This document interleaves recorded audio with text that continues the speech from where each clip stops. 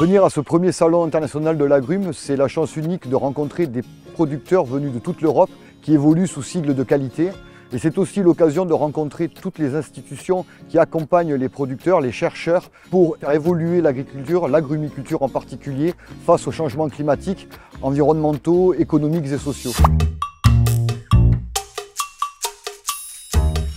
Parmi les organismes qui seront présents, on aura la chance d'avoir les représentants des filières de Croatie, Grèce, France, Italie et Portugal. On aura également la présence de l'Institut national de recherche pour l'agriculture, l'alimentation et l'environnement, l'INRAE. Également l'Institut national de l'origine et de la qualité, qui chapeaute toutes les certifications. Et on aura également la présence de la Chambre d'agriculture des Alpes-Maritimes.